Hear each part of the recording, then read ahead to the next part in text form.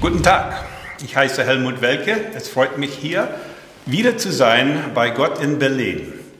Ich bin schon ein paar Mal äh, verschiedene Vorträge äh, auf dem Internet gebracht, zum Beispiel über Dinosaurier und auch ähm, Genetik und was zeigt die genetische äh, Forschung die letzten 20 Jahre, was es zeigt, dass wir kommen und haben doch einen Schöpfer.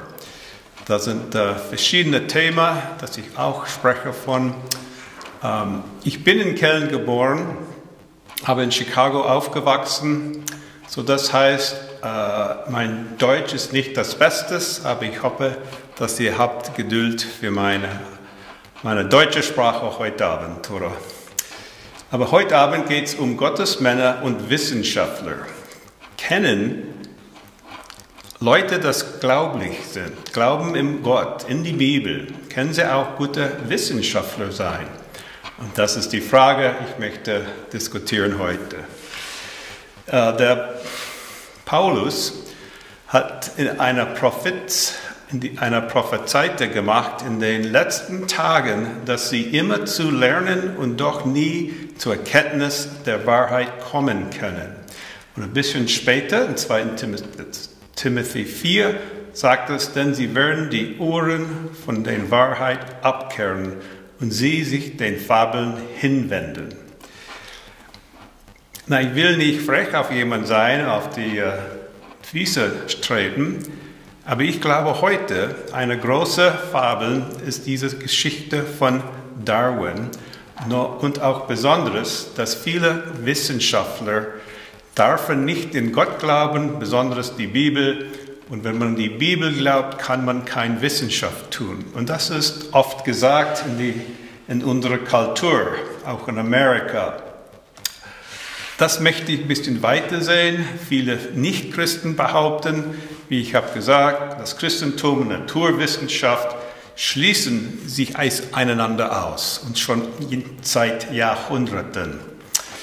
Die Gegenteil ist aber wahr. Wir gucken ein bisschen in die Vergangenheit und dann werden wir noch weiter diskutieren, was sind die Früchte von äh, Darwin und auch die Früchte von Wissenschaftlern das Glauben in die Bibel.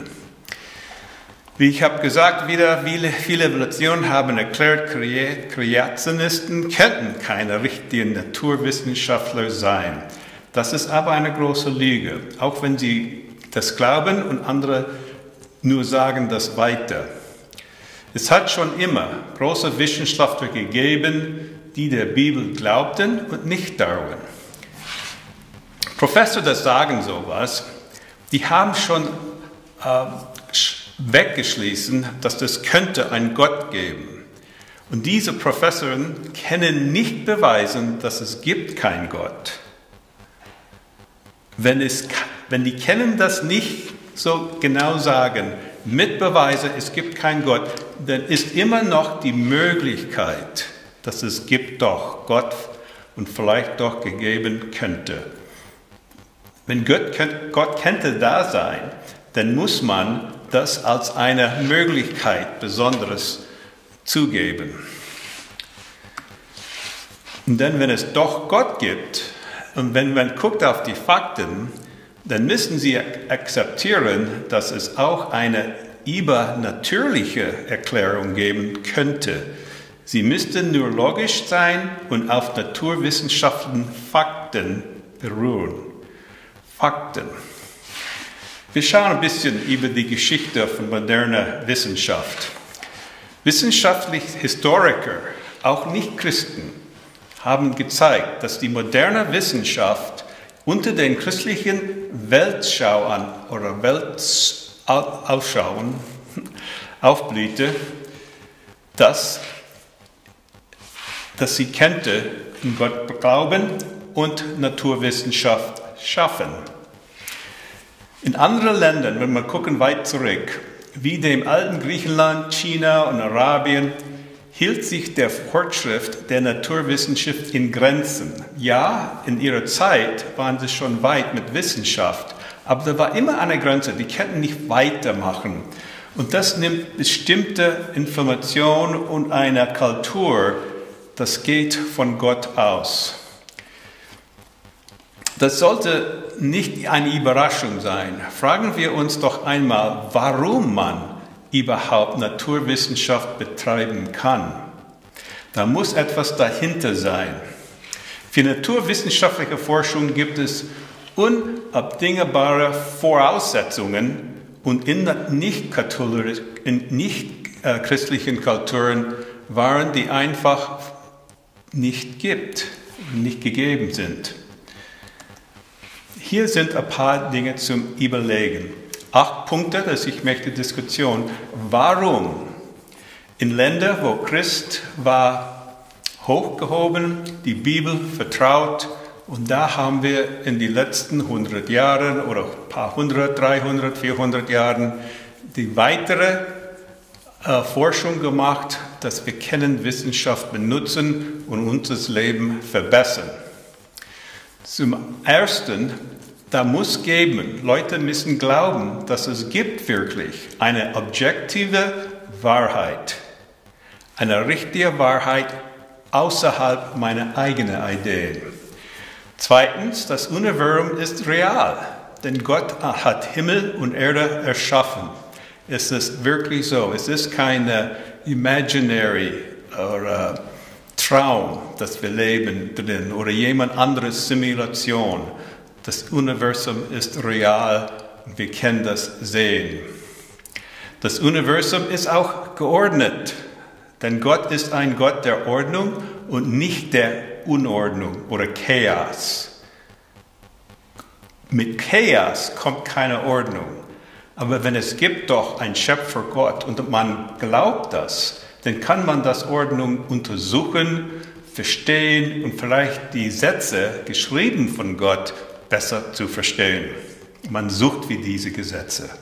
Und so haben viele Wissenschaftler über die Zeit, über die Jahrhunderte genauso gemacht. Der vierte Punkt ist, dass Gott ist sovereign, allmachtig. Er ist frei und könnte alles so erschaffen, wie es ihm gefiel. Wir sind frei zu forschen und zu experimentieren und müssen uns nicht auf erdächtiger Philosophieren stützen wie die anderen alten Griechen. Wir haben Ordnung, wir haben Gesetze von Gott, das wir kennen, untersuchen. Der fünfte Punkt ist, der Mensch kann und soll die Welt erforschen, denn Gott hat uns Herrschaft verlieren über seine Schöpfung. Sechstens war, der Mensch ist fähig zu gedenken. Handlungen und kreativ zu sein, denn er ist noch nach Gottes Bild geschaffen. Wir kennen diese Dinge untersuchen und wir können kreativ sagen, wir können gute Fragen vorstellen und die Antworten suchen. Das kommt, wenn man glaubt in ein allmächtiges Schöpfer. Und der Mensch kann rational und logisch denken. Logik ist objektiv und nicht willkürlich oder dem Zufall unterworfen. Es muss kein Zufall sein, es muss Ordnung geben und wir können eins, zwei, drei durch etwas denken und ein Ergebnis machen. Und das achte Punkt ist sehr wichtig und besonders wichtig heute, weil ich glaube, dass wir verlieren es. Die Ergebnisse sollten Wahrheit, wahrheitsgetreu berichtet werden, denn falsches Zeugnis hat Gott verboten. Ich kenne viele, äh, wie sagt man, viele äh, äh, Möglichkeiten oder ich habe viele äh, Chancen gesehen, wo Leute haben ihre Datei verfalscht nur, dass die können ihre Idee weiterbringen. Und wenn man das tut und andere Leute möchten darauf diese Arbeit weitermachen, dann gibt es immer ein schlechtes Ergebnis. Ergebnisse und die Datei, von wo kommen verschiedene äh, Ideen und, und Fortschritte, die sollten mit Wahrheitsgetraue berichtet werden. Die Wahrheit muss da sein. Wenn das Datei nicht passt, meine eigene Idee, dann muss ich das freilich geben. Hier ist das Datei, vielleicht muss ich eine andere Idee suchen. Falsches Zeugnis hat Gott verboten. Und das ist ein Teil von einer Kultur, das hilft, wirklich hilft, die Wissenschaft zu weitergehen. So, moderne Wissenschaft und Christen. In der Reformation im 16. Jahrhundert wurde die, die Autorität, die Bibel, wiederentdeckt. Seitdem hat die Wissenschaft floriert. It has flourished. Es ist besser geworden und weiter Forschung ist gemacht und wir können von das immer noch weiter bauen. Und das war kein Zufall. Wenn man die Autorität, die Bibel hält, dann kann man die Wissenschaft besser weitermachen. Und wenn man guckt über die Welt, die Länder mit den stärksten Überresten eines bibeltrauen christlichen Glaubens sind weltweit führend was nutzbare Naturwissenschaft angeht. Und das ist auch kein Zufall. Wir können weitergehen mit dieser äh, Philosophie, dieser Glaube, dass es gibt wirklich einen allmächtigen Gott. Und allerdings weiß die westliche Welt das nicht mehr zu, zu schätzen. Das ist eine Schade. Weitgehend, weitgehend heute ist nur von ihrem christlichen Erbe wir haben immer noch in, in, in unserem Gedächtnis die Ideen, dass das Universum hat Ordnung und das können wir untersuchen. Aber wenn wir gehen weiter und weiter weg in eine Kultur, das glaubt nicht mehr an Gott und seine Gesetze, dann haben wir Probleme. Besonders wenn Datei und Ideen wird fa falsch vorgesetzt nach, nach weiter und weiter geschoben, aus, außerhalb guter Datei. Und heute haben wir Schüler, die sind indoktriniert mit der Evolutionlehre und in indefekte Ideen mit dem Atheismus untergrabt die christliche Grundlagen der Naturwissenschaft. Psalm 11,3 sagt, wenn die Grundfesten eingerissen werden, was soll der Gerechte tun? Wenn man hat keine guten Grundfesten, die Fundamenten von einem Gott, ein Gott, das uns liebt, ein Gott, das ist allmächtig und sieht alles, wenn wir das vergessen, dann können wir unsere Kultur nicht mehr gut unterstützen und es geht langsam, langsam kaputt. Und ich glaube, wir sehen das heute in der Welt. Und die Evolutionlehre untergrabt die Naturwissenschaft, von Kulturschaden ganz zu schweigen. Das können wir sehen heute. Wir sind nicht immer vernünftig. Wir können nicht einfach sagen, ja, wir haben andere Ideen, können wir das schön und weiter diskutieren. Es wird immer härter und härter, das zu diskutieren. Viele werden einfach, oh, du glaubst an Gott, weg. Das ist ein Problem und man kann gut, das nicht gut diskutieren. Zu behaupten, alle ernsthaften Naturwissenschaftler glauben, die Evolution ist eine Lüge. Es gibt viele über die Jahrhunderte und auch heute Naturwissenschaftler, das glauben die Bibel nicht in Darwin und haben gutes Wissenschaft Forschung gemacht und Ergebnisse gefunden. Seit Darwin gab es immer anerkannte Wissenschaftler von Weltrang, die sich gegen die Evolutionslehre aussprechen. Immer, das war immer so. Und ich gebe von jetzt zurück seit Darwin. Darwins Buch ist schon äh, öffentlich publiziert in 1859. Schon fünf Jahre später, in 1864, da war schon eine große Gruppe, das haben gegen Darwin gekämpft oder etwas gesagt und sagen, nee, das geht gar nicht so. 717 Wissenschaftler haben unterzeichnete ein Manifest, The Declaration of Students of the Natural and Physical Science. Die waren gegen Darwins Idee. In dieser Erklärung, Erklärung bekräftigen sie ihr Vertrauen auf die wissenschaftliche Zuverlässigkeit der Heiligen Schrift. Und das sind viele wichtige Wissenschaftler der Zeit Darwin. Die waren gegen seine Idee, die waren kritisch auf diese Idee, dass alles als Zufall, Zufall könnte ergeben, alles Leben von einer einzigen Zelle. Ups. So, und zu den Unterzeichen gehörten besonders 86 Mitglieder der Royal Society. Das sind die richtigen Wissenschaftler, das waren bekannt, die hatten schon etwas Ergebnisse geschrieben, Bücher gemacht und Fortschritte gemacht mit Wissenschaft. Und das heißt dazu uh, James Jewell, David Brewster, Henry Rawlson, Adam Sedgwick und James Glesher. Ich habe nicht Zeit für alle zu diskutieren, aber ich möchte etwas sagen von zwei. Der erste ist James Jewell. Je, das, er ist ein Physiker und Mathematiker.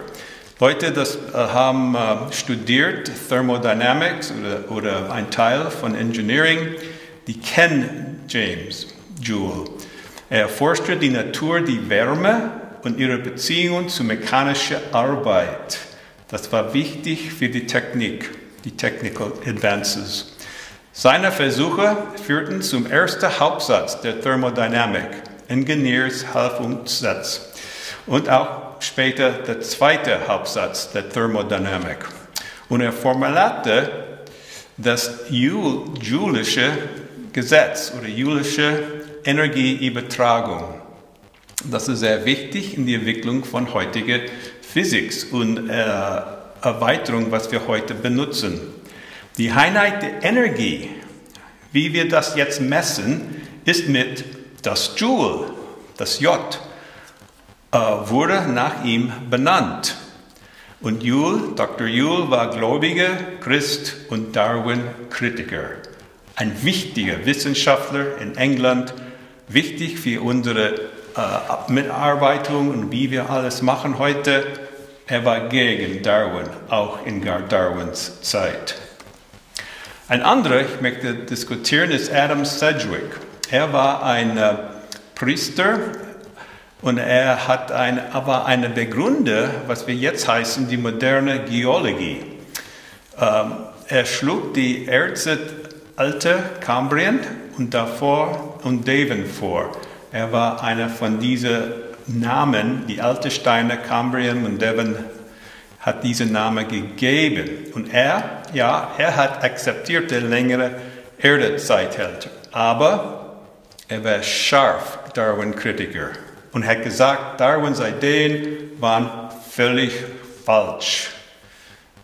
Sagte voraus, Darwins Tiere würden für die Welt verheerende Folgen haben. Schlechte Ideen wären ein schlechtes Ergebnis bekommen. Und er hat gesagt, das wird ein Problem für die ganze Welt sein, wenn viele Leute diese Idee von Darwin akzeptieren. Und er war recht, hatte recht, als wir werden sehen. Äh, bis jetzt weiter in, das 20. Jahrhundert, wir haben immer noch äh, äh, Opposition gegen Darwins Idee. 1932 in England, da war dies Protestbewegung gegen die Evolutionslehre und Öffentlichkeitsarbeit. Viele Wissenschaftler hatten die Evolution für nicht bewiesen und nicht beweisbar, gegründet von mehreren öffentlich bekannten Wissenschaftlern. Das war auch immer etwas gegen Darwin seine Ideen verwiesen anfangs nur auf die verliehenen Probleme der Evolutionstheorie. Da war viele Probleme. Und 1980 wird diese Gruppe äh, unbenannt Creation Science Movement oder Bewegung der Schöpfungswissenschaft.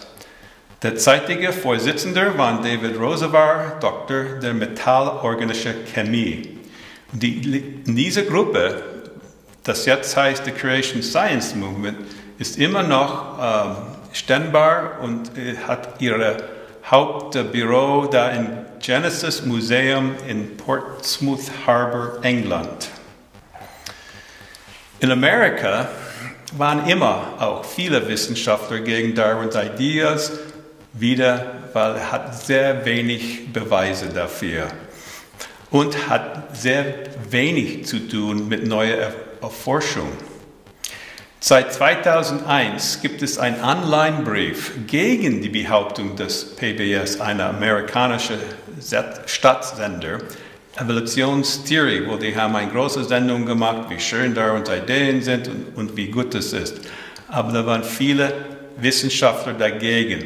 Und dann die haben geschrieben, und das kann man sehen, das Brief und auch ihre Name, die haben unterschrieben, wir sind skeptisch gegenüber Behauptungen, die Komplexität des Lebens, sie entstanden durch zufällige Mutationen und natürliche Selektion. Die Belege für die darwinische Theorie sollten sorgfältig geprüft werden. Und ja, das soll man tun mit allen Ideen. Prüfen. Ist das wirklich so? Wir suchen für was ist gut und was nicht gut ja, sollen wir schon löschen. Und seit 2001, diese descentfromdarwin.org, ähm, auf dieser oder anderer Website kann man das finden. Und in 2019 sind mehr als tausende Wissenschaftler unterschrieben. Descent from Darwin's List, über 1000. So, ja, da sind gute Wissenschaftler schon lange, seit Darwin, das waren immer gegen seine Ideen. In Matthäus 7, wir lesen, Hittet euch vor den falschen Propheten. An ihren Früchten werden ihr sie erkennen. Sammelt man auch Trauben von Dornen oder Feigen von Disteln. So bringt jeder gute Baum zu guter Frucht, der schlechte Baum aber bringt schlechte Früchte. Und das möchte ich jetzt ein bisschen diskutieren die Frucht von dieser Idee. Wir können vergleichen zwei, äh, zwei Männer hier, der Charles Darwin selbst, aber auch Louis Pasteur, der französische Wissenschaft. Und er hat viele Erforschungen gemacht. Louis Pasteur war sehr wichtig in die Begründung von Mikrobiologie. Er hat verstanden, wie wir können verstehen, und auch war einer von die, dass wir müssen von Germs oder kleine Bakterien äh, alles schön sauber machen, Sanität zu halten. Er war auch eine wichtige in viele äh, Abteilungen von seiner Biologie. Äh, Wissenschaft. Im Jahre 1885 rettete ein klein, einen kleinen Jungen, der von einem tollwütigen Hund gebissen worden war. Pastor erprobte erfolgreich seinen neuen Tollwut-Impfungsstoff und trug dazu bei, das Konzept der Impfungen zu bestätigen. 1880, 1888 wurde in Paris das Institut Pasteur gegründet mit dem Ziel, den Kampf gegen Krankheit fortzusetzen. Er war ein wichtiger Wissenschaftler und hat die Welt viel geholfen. Seine Arbeit mit Impfungen, richtige Impfungen, war sehr wichtig und hat viele Leute geholfen in die ganze Welt. Und Pasteur war auch kritisch auf Darwins Ideen. Und er hat gesagt, ja, ich gucke in Natur, ich gucke in die Naturwissenschaft und ich tue die Forschung.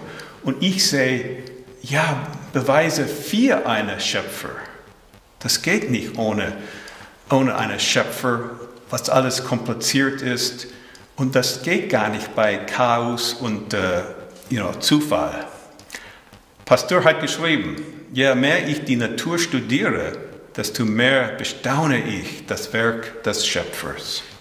In 1849 veröffentlichte Darwin sein Hauptwerk und Louis Pasteur war ein entschiedener Gegen von Darwins Hypothese da es keine Belege dafür gab. Er hat das auch gesagt und war gegen Darwins Idee, dass die waren nicht gute Ideen. Pasteurs Arbeiter aber hatte auch die Idee der spontanen Zeugnung den Todesstoff versetzen müssen.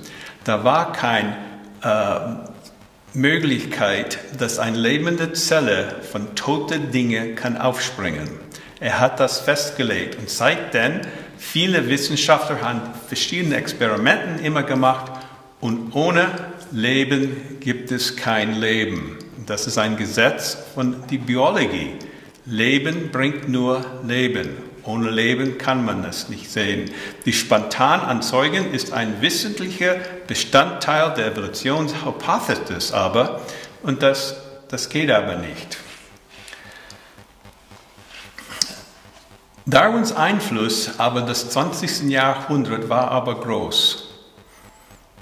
Es ist erstaunlich, aber viele Leute haben ihm geglaubt und er hat die ganze Welt das, you know, diese Idee gegeben, dass wir brauchen keinen Gott, wir können weitermachen und wir haben uns entwickelt vom Affen und vorher vom Fische und vorher eine Quäle und vorher eine einzigste Zelle. Das ist eine fantastische Idee und viele Leute haben gesucht für die Beweise dafür, aber da sind immer viele Fehler, genau wie Darwin hat selbst geschrieben.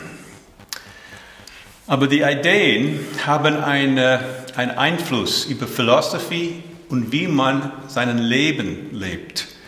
Darwin hat auch geschrieben, ein Mensch, der keinen festen und verbindlichen Glauben hat an die Existenz eines persönlichen Gottes oder eine zu kräftige Existenz mit Vergeltungen und Belohnung, kann, soweit ich es sehe, als Lebensregel nur den Impulsen und Instinkten folgen, die am stärksten sind und die ihm die besten zu sein scheinen. I can do what I want. Ich möchte tun, was ich will, weil es gibt keinen Gott, das soll sagen anderes. Das ist eine Interesse-Idee. Viele Leute folgen das. Und ich glaube, im 20. Jahrhundert war es immer schlechter und schlechter geworden von dieser Philosophie. Es gibt ein Buch, Darwin's Plantation, und das zeigt ganz schön von der Geschichte, was die Idee von Darwin bis zu Eugenic, bis zur amerikanischen Gruppe Planned Parenthood, die, die vertreten und tun immer weiter, dass ähm, äh, Abortion oder Abtreibung. Und das geht immer auf die Frage, ist das Baby ein, eine Geschenk von Gott oder nur ein paar Zellen, das wir können abtreiben. Und wenn man das glaubt, dass man kann so abtreiben, es gibt keinen Gott, dann warum nicht? Rechtfertigt der Sklaverei, Experimente an Untermenschen kann man machen. Und das hat viele denn gemacht. Wir brauchen, wenn wir glauben, dass es gibt Leute, das sind ein bisschen niedrig als uns. Vielleicht die mit schwarzer äh, Haut, die sind ein bisschen dichter dran an die Affen, sind nicht völlig Mensch. Denn das hat sehr schlechte Ideen und Ergebnisse gebracht. Und Experimente an diese Untermenschen waren ge gezeigt. Und das kann man alles lesen in die Geschichte die letzten 100 Jahre. Und Zwange, Sterilisation, von Schwarzamerikanern war gefordert und viele hunderte schwarze amerikanische Frauen waren ohne ihre, ihre Erlaubnis oder ihre, ihr Wille sterilisiert. Weil viele haben geglaubt, dass die sind doch Niedermenschen, die braucht, die sind nicht so hoch wie die Weißen und wir sollen sie nicht erlauben, so viele Kinder zu haben. In Amerika immer noch ist diese Abtreibung höchstens among schwarze Amerikaner. Und das war alle Ideen von Margaret Sanger, ein Folger von Darwin. Ja, auch der Evolutionist Stephen Gould von Harvard Universität hat gesagt, biologische Argumente für Rassismus mögen vor 1850 üblich gewesen sein, aber nachdem die Evolutionslehre akzeptierte wurde, sie, nahmen sie um ein Vielfaches zu. Many factors, viel mehr waren dazu genommen. Und die Welt hat viele Probleme gesehen. Hier ist noch ein Problem. Da ist ein Buch von Richard Weicker, Professor von moderner europäischer äh, Geschichte, äh, hat das Buch von Darwin zu Hitler geschrieben. Es kam raus in 2004. Und er hat gesagt, dass die deutsche äh, Vorkriegszeit, wie äh, Deutsche wie der Vorkriegszeit, wie Ernst Haeckel und Ludwig Büchner vertreten einen moralischen Relativismus und verherrlichten die Evolution anpassen als höchsten Maßstab für Moral. Ja, da ist das Gründung mit Darwin, die Idee, dass alles, alles entwickelt und viele Leute sind näher an Affen und wir haben eine bessere Moral. Und er schreibt, unter deutschen Historikern gibt es keine große Debatte darüber, ob Hitler Sozial-Darwinist war oder nicht. Er stützte sich eindeutig auf Darwinisten-Ideen. Und das kann man zustimmen. Und er sagte, die Schlüsselrolle des Darwinismus beim Aufkommen der Eugenik, auch beim Kindsmord, Abtreibung und Rassenvernichtung, all das wurde von den Nazis übernommen. Hitler gründet seine Auffassung von Ethik auf darwinische Prinzipien. Das hört man nicht gut an, ich weiß, aber es ist die Wahrheit. Die Darwinisten spielten eine Schlüsselrolle, nicht nur beim Aufkommen der Eugenik, sondern auch die Euthanasie, Kindsmord, Abtreibung und Rassesausrottung. Und die Nazis haben das überall genommen. Die Idee, dass es gibt Leute nicht so gut wie ich und ich kann sie ausradieren. Warum nicht? Es gibt keinen Gott. Und man könnte sagen, ohne den Darismus wurde die Welt von Nationalsozialismus vielleicht verschont geblieben. Man guckt nach. Was sind die Dateien? Der Weltanschauung nach Darwin. Karl Marx hat Briefe exchanged mit Darwin selbst und er hat geschrieben, die Grundlage des Sozialdarwinismus. Er wollte keinen Gott und Darwin hat die Möglichkeit das gegeben, dass wir kennen, das verstehen so. Und mit dieser Idee kam das Kommunismus gegen Gott. Alles kennen wir verbessern. Und dann Trotzki und Lenin haben 20 Millionen Leute in die Gulags gebracht. Josef Stalin ein bisschen später mit derselben Idee war, die, war über 20 Millionen Tote und nicht nur von Soldaten im Krieg, seine eigenen Leute, Leute, das waren gegen ihn oder Leute, dass sie, er hatte Hasse für. 20 Millionen Tote außerhalb außerhalb die, die kriegischen Leute, der Soldaten. Adolf Hitler dasselbe. Man kann rechnen 10 Millionen. Die, die meistens 6 Millionen waren Juden. Aber da waren noch dazu, was er war gegen und hat getötet. Und dann kam Mao Zedong, auch mit dieser Idee. Äh, äh, Atheismus, Sozialismus, Kommunismus. Wir wollen keinen Gott, wir brauchen keinen Gott. Meine Ideen sind die besten und da kann man zahlen bis 70 Millionen Tote in China, the Great Zeit, the Great March und so weiter. Pol Pot, Kambodscha, 1,5 Millionen, Idi Amin in Uganda, halbe Million. Wenn man das alles zurechnet, hat man über 100 Millionen tote Leute von dieser Philosophie, wenn man Darwin richtig angeht. Na, ich sage nicht, dass Leute heute das kann Darwin glauben, sind so schlecht, sind Nazis oder Kommunisten. Aber das Philosophie und was das Ergebnis war, ist da. Die Daten sind da. Und darum muss man das wirklich vorsichtig sein mit dieser Idee. Was ist die Ergebnisse? Ich möchte ähm, äh, comparing vergleichen die Ergebnisse von Darwin und Louis Pasteur in die zweiten Jahrhundert, 20. Jahrhundert. Entschuldigung. Von unter Darwin, wir haben eine Stärkung des Rassismus, aber von Louis Pasteur, wir haben mehr Impfstoffe und Leutes Lebens gerettet. Unter Darwin, wir haben einen Anstieg von Eugenik und die Abtreibung. Bei Pasteur die Entwicklung der Mikrobiologie. In den letzten 100 Jahren ist es eine wichtige äh, Forschung für unsere Gesundheit. Bei Darwin haben wir die Grundlage für Kommunismus und auch Nationalsozialismus. Man sagt, eins ist rechts, eins ist links, aber ich glaube, diese Ideen, politische Ideen sind wie ein, mehr wie ein Kreis. Wenn man geht ganz rechts, geht man nach unten. Wenn man geht ganz links, kommt man zu dieselbe Stelle, ganz unten mit schlechten Ergebnissen. Grundlage in der heutigen Zeit ist von Darwin. Gibt keinen Gott. Alles kann man tun. Aber bei Pastor haben wir die Gründung des Pastor-Instituts zur Bekämpfung von Krankheiten. Wir wollen Leute helfen und nicht die Kranken und die Schlechten abtreiben oder wegmachen. In 100 Jahren seinem Buch, nach seinem Buch kann man schon rechnen über 100 Millionen Tote von der Idee, dass das, wir haben Recht, wir brauchen keinen Gott und dann das Ergebnis so schlecht.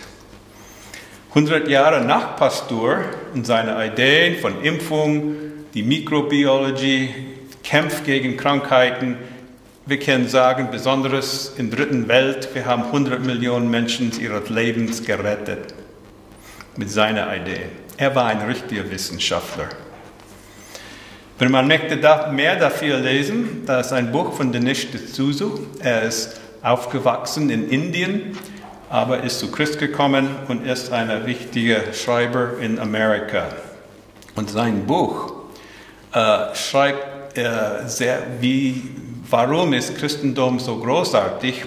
Das Buch allein hat ein gutes Wert, nur wenn man liest das Kapitel 19, der License zum Töten der Atheismus und die Massenmorde der Geschichte. Und er zeigt schon äh, ungefähr, was ich habe als you know, kleine äh, Summary, Zusammenfassung gerade gegeben. Und äh, man, man, kann sehen, dass viele Leute da sagen, dass diese uh, Religious Wars, Religiösen haben viel Krieg und Toten gebracht.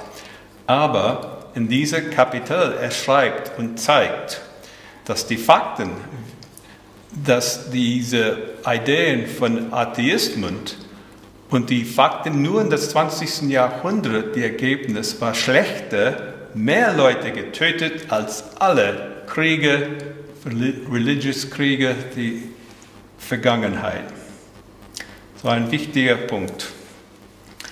Mehr moderne Zeit in Amerika, da war ein Jeffrey Dahmer. Er war ein Assyrian-Mörder.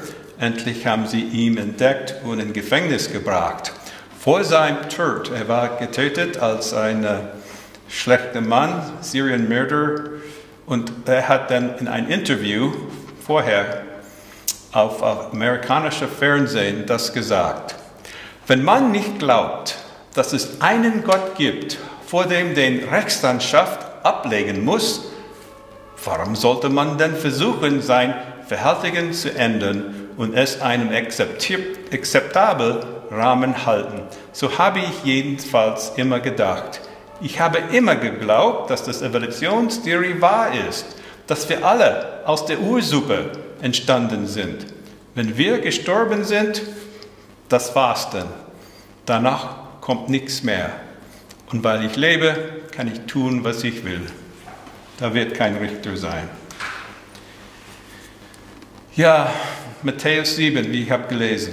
Deshalb an ihren Früchten werden sie sie gut erkennen. Gute Ideen bringen gutes Frucht. Schlechte Ideen bringen schlechtes Frucht.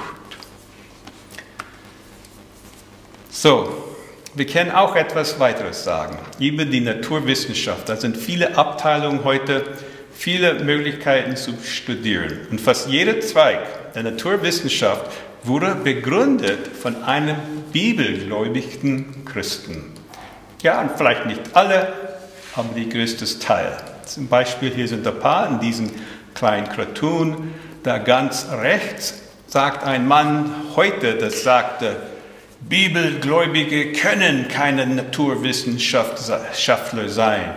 Und soll er sowas sagen, nicht nur auf einen Student in seiner Klasse, aber sagt, würde das sagen über der Francis Bacon, ein Begründer von der Scientific Method, die wissenschaftliche äh, Methode, oder Johannes Kepler oder Sir Isaac Newton, Begründer Physik, oder auch Louis Pasteur, Begründer von Mikrobiologie. Und die waren alle nach der Zeit Darwin, nicht vorher. Auch James Clerk Maxwell, ich werde etwas von ihm sprechen, aber the laws of, Strom und was wir können mit das machen. Und mehr, no, uh, ein Mann, das lebt noch, ist Raymond Damadian, Inventor of the MRI. Er war der Gründer Erfunder von das MR, ich glaube MRT. Werden wir noch sehen. Aber Leute sagen immer, oh, diese Leute, das glauben die Bibel, kennen keine Wissenschaft, machen, aber die Fakten zeigen anderes. Sir Francis Bacon, er war ein wichtiger Wissenschaftler, hat begründet die Ideen von der Wissenschaftsmethode, was wir alle jetzt immer noch benutzen. Und er hat gesagt, ein bisschen Wissenschaft entfremdet einen Mann von Gott. Ja, ein bisschen. Ich denke, ich weiß was. Aber wenn man das untersucht, er sagte, viel Wissenschaft bringt ihn zurück. Und darum haben wir diese Möglichkeit zu untersuchen, die besseren Sachen von Wissenschaft und die zeigen doch, es gibt einen Schöpfer Gott. Und das heißt, warum Francis Bacon könnte sagen, viel Wissenschaft bringt ihnen zurück, zurück zum Gott. Denn die Gesetze von Robert Boyle, sehr wichtig, habe sie auch studiert in die Uni.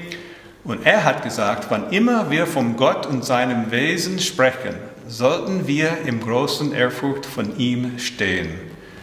Ja, er war ein wichtiger Mann, hat die Bibel geglaubt und er ist besonders wichtig in aller Forschung, dass wir haben seitdem.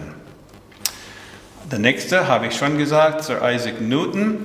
Er war Gründer des, was wir heißen, der moderne Physik und hat geschrieben, dieses bewundernswerteste System aus Sonne, Planeten, Kometen könnten wir aus dem Ratschluss und der Herrschaft eines intelligenten und allmächtigen Wesens hervorgehen. Ohne Gott könnten wir das nicht so verstehen. Er muss einen Schöpfer geben. Und dann mehr modern ist die äh, Vater des Elektromagnetism, sehr wichtiger Mann, ein sehr wichtiger Wissenschaftler und er war auch ein Kreationist. Dr. Michael Faraday hat geschrieben, ich kann nicht darum zweifeln. Ich kann nicht daran zweifeln, dass unserem Zeitalter eine glorreiche Entdeckung der Naturkenntnis sowie die Weisheit und Macht Gottes in der Schöpfung bevorsteht und dass wir nicht nur hoffen dürfen, sie zu sehen, sondern sogar die Ehe haben dazu beizutragen.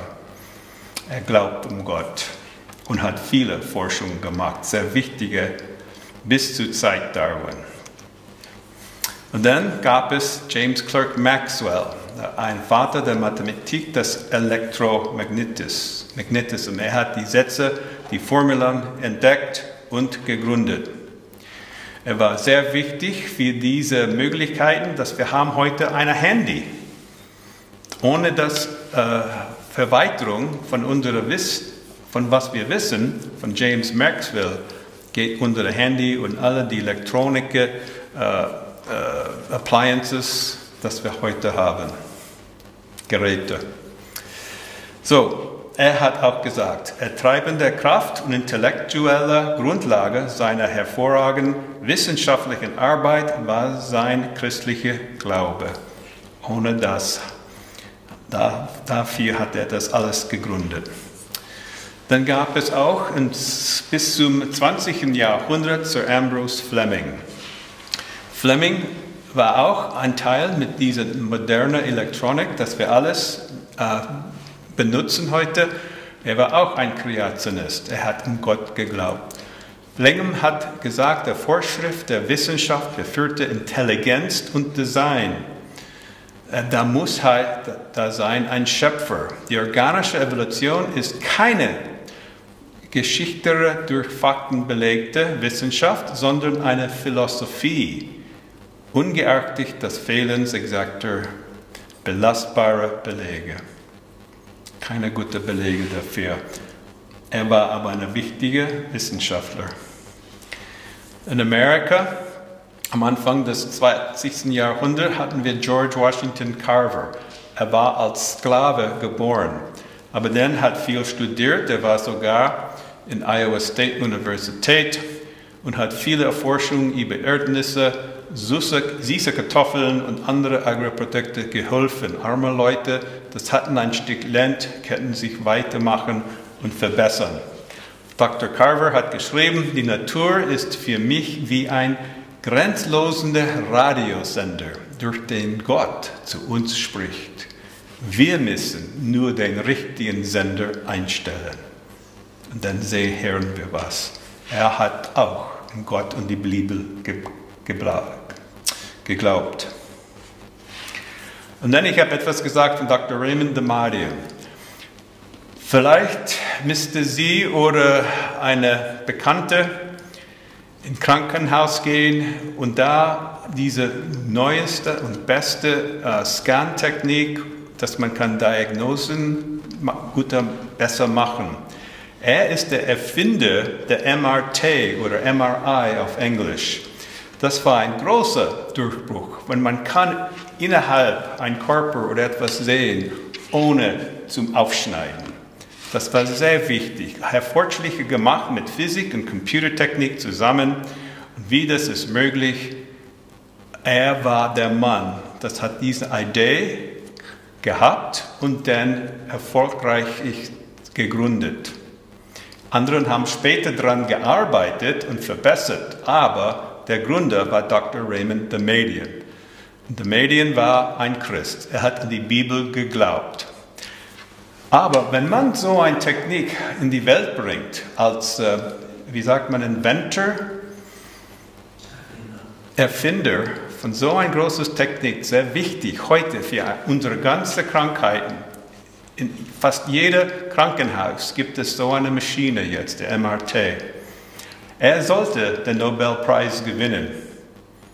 Drei anderen oder zwei anderen haben das gegeben oder bekommen die das haben ein bisschen verbessert später. Aber der Gründer selbst, Dr. Damadian, er sollte auch dabei sein. Aber es war bekannt, dass er war Christ. Er wollte, er glaubte nicht an Darwins Ideen.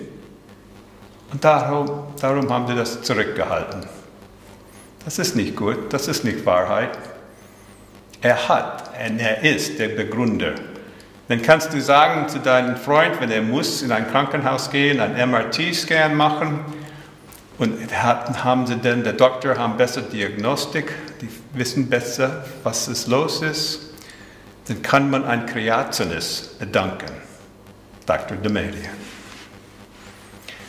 Und dann Dr. Georgia Portum, eine Frau, sie hat ihre Molecular Genetik studiert at Ohio State University hat auch viele Fachzeitschriften, äh, Artikel geschrieben.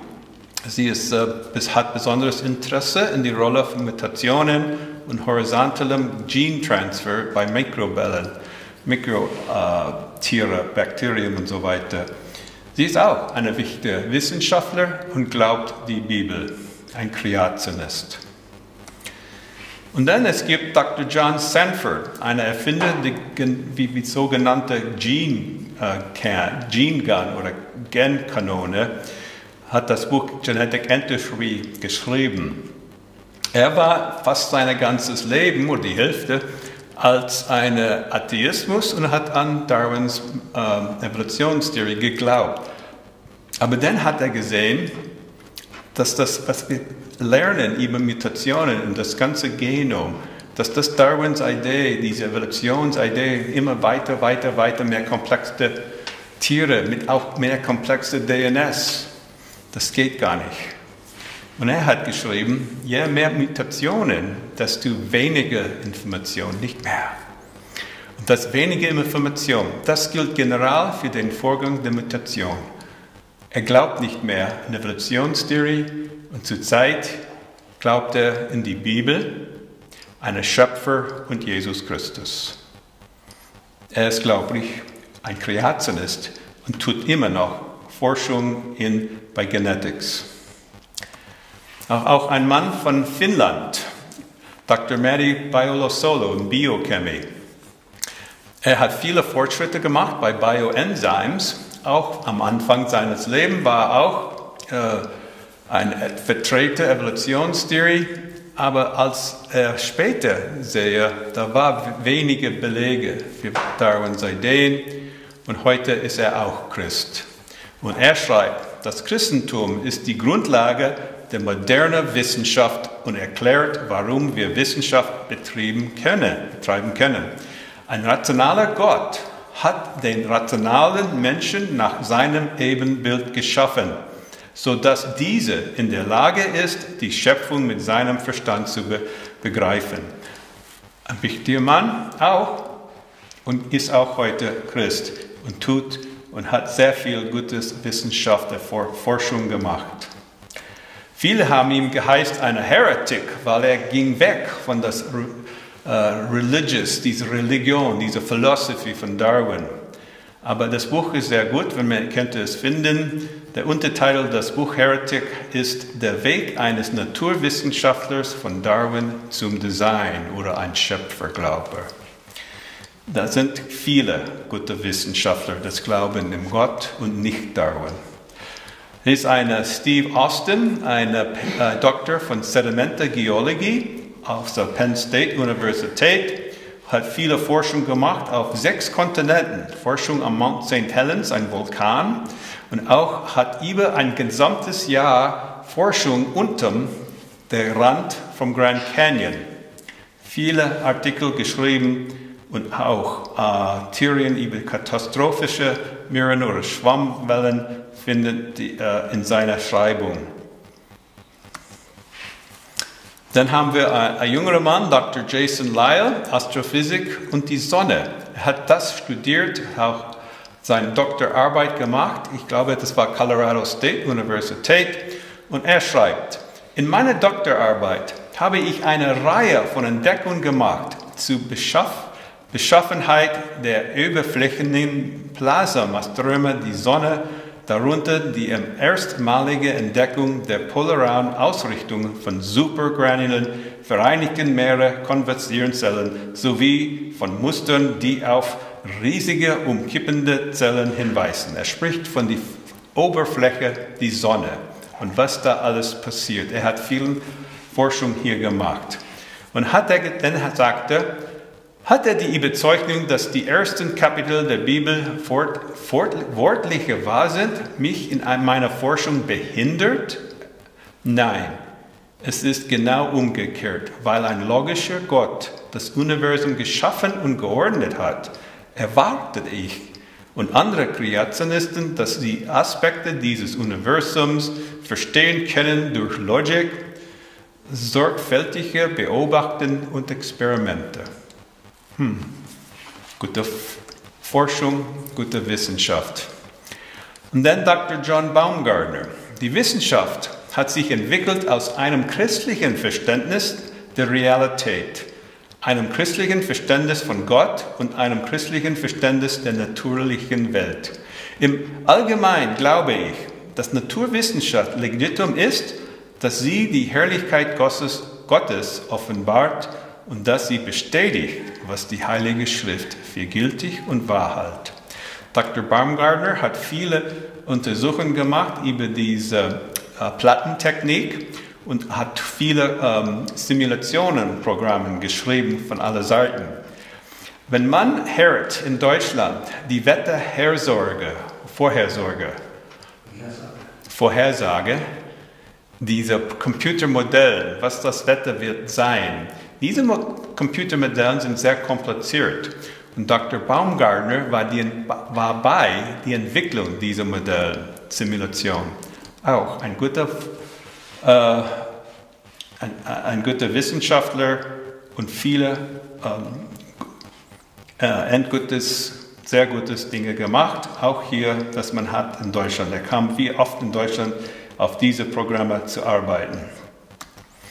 Dr. Kenyon, noch ein Mann, er war auch geglaubt, dass diese chemische Evolution möglich könnte sein, dass Aminosäureketten auftauchen in einer Ursuppe und hat dann untersucht und dann später hat geschrieben, er kann das nicht mehr glauben. Weitere Experimente zeigen, dass Aminosäuren nicht in der Lage sind, sich selbst zu biologischen, sinnvollen Sequenzen zu ordnen. Da muss Information sein. Das heißt DNS. Und ohne DNS geht das gar nicht. Und von wo kommt DNS? Das ist Information. Information kommt immer von einem intelligentes Ur Ursprung. Dr. Russ Humphreys, ein Physiker, hat viele Forschung gemacht. Er war, äh, äh, hat aufgewachsen in ein Haus mit, die Eltern waren Atheisten. Er war auch selbst Atheist, bis er kam in die Universität und weiter studieren. Und am Ende kam er zum Glauben Christus und hat viele Forschung, viele veröffentlichte Artikel in säkulären Wissenschaftsjournal geschrieben, hat Preise gewonnen und jetzt glaubt er in die Schöpfung. Er sagt, ja, das ist das beste Erklärung, was wir sehen in die Welt. Dr. Russ Humphreys, ich kenne ihn persönlich. Und dann Michael Tiggs, noch ein, ein Ingenieur in Luft- und Raumfahrt bei der NASA. Die anwendbare Wissenschaft befasst sich mit den Ergebnissen wiederholbarer wissenschaftlicher Experimente. Wenn ich eine Flugbahn werfe, denn die den Menschen vom Mond zurückbringt und dabei die Erdatmosphäre zum Bremsen nutzt, dann kann dieser Ansatz simuliert und getestet und, und äh, verified, verifiziert werden. Unabhängig davon, was ich glaube über die Älter der Erde oder über den Mechanismus der Entstehung des Lebens und diesem Planeten. Wenn man das weiterdenkt, gibt es in der anwendbaren Wissenschaft sehr wenig, das betroffen wäre von dem Streit über Schöpfung oder Evolution. Man tut Wissenschaft, man tut Kalkulationen ohne eine Glaube, Schöpfung und Evolution. Evolution ist nicht nötig. Der Aufstieg der Technologie ist nicht zurückzuführen auf dem Glauben an die Evolution. Computer, Mobiltelefon, Ihr Handy, die DVD-Player funktionieren alle aufgrund der physikalischen Gesetze, die Gott geschaffen hat. Technik ist möglich, weil Gott ein logisches, geordnetes Universum geschaffen hat und weil er uns die Fähigkeit gegeben hat, zu denken und kreativ zu sein. Nur dann, wenn da diese wichtige, geordnete Gesetze gibt, von einer Ordnung, von einer Ordnung einer Schöpfer, dann können wir so schön kreativ sein, Forschung machen, untersuchen die Welt von des Schöpfers. So, Dr. David Menton, ein Doktor, er hat aber ein, äh, ein Lehrer von Doktor, hat Doktor gelernt, andere Doktoren gelernt. Und er sagte, Tatsache ist die Evolution, auch wenn sie weithin geglaubt wird, tragt nichts bei zu unserem Verständnis der empirischen Wissenschaft. Daher spielt sie einer Forschung und Lehre der Biomedizin keine wesentliche Rolle. Man braucht sie gar nicht für Forschung in Medizin besonders. Dr. Philip Skell hat so etwas ähnlich gesagt und dann hat andere Leute gefragt. Er schreibt, vor kurzem habe ich über 70 renommierte Forscher gefragt, ob sie es anders gearbeitet hätten, wenn sie Darwins Theorie für falsch geglaubt haben oder gehalten hätten. Die Antwort bei allen gleich nein. dass Wissenschaft, das Idee von Darwin spielt keine Rolle in Naturwissenschaft und Physik und weiter. Das ist nur ein Glauben, das Leute haben an die Seite. Die Technik hat uns ganz gezeigt. Hochwirklichkeit, Maschinen brauchen intelligente Konstrukteure und nicht Zufall. Wissenschaft und Technik sind mit der Bibel völlig vereinbar nicht aber mit der Evolutionstheorie. So, ich schlusse mit ein paar Worte, ein längeres Zitat, Entschuldigung, von Albert Einstein. etwas zu sagen. Als Freiheitslebender Mensch, Mensch erwarte ich, als die nationalsozialistische Revolution kam, dass die Universitäten die Freiheit vertreten würden, denn sie hatten sich immer ihrer Hingabe an die Sache der Wahrheit gerimmt, aber nein, die Universitäten wurden sofort zum Schweigen gebracht. Dann schaute ich auf die großen Zeitungsredakteure, darin flammende Leitartikel in vergangenen Tagen ihre Liebe zu Freiheit verkündet hatten. Aber auch sie wurden, wie die Universitäten, in wenigen Wochen zum Schweigen gebracht. Nur die Kirche stellte sich dem Feldzug, dem Feldzug Hitlers zur Unterdeckung der Wahrheit breit in den Weg. Die Kirche hatte mich nie interessiert, aber jetzt empfinde ich für, die, für sie eine große Zuneigung und Bewunderung, denn nur sie hatte den Mut und der Beharrlichkeit für gestätige und moralische Freiheit einzutreten. Ich muss gestehen, es ich früher verachtet habe, das lobe ich heute uneingeschränkt. Er hat gesehen, Leute, wenn wir gläubig bleiben, von da können wir für Freiheit immer noch wundern und wir müssen auch vielleicht das ähm, Defending verteidigen. Weil da wird immer jemand das kommen, ihr darf nicht so sprechen oder ihr darf nicht das sagen. Und da, äh, Einstein hat das ziemlich schrecklich angesehen, was kommt in seiner Zeit. Aber nur die Kirche, die gläubigen Leute, haben gegen das Frei Anti-Freiheit gestanden. Insgesamt mit das und andere Diskussionen können wir sehen, dass die Bibel hat den Test von Zeit und Wissenschaft bestanden. Wir sollen die Bibel studieren, glauben und verteidigen. Die Bibel ist, hat doch recht. Von da kennen wir unsere Schöpfer. Wir kennen Jesus Christus. Das hat für uns gestorben. Wir haben in dieser Welt ein großes Problem und Gott heißt dieses Problem Sünde. Sünde ist der Ursprung für alle unsere Krankheiten, Töten, Kriegen und so weiter. Wir sind immer gegen einen Gott und seine Liebe. Wir müssen einen Retter haben und der Retter, der Retter für uns heißt Jesus Christus. Er hat für uns verstorben. So jetzt können Sie glauben, die können die Bibel studieren und glauben. Und ich wünsche Gottes Segen auf euch alle. Dankeschön.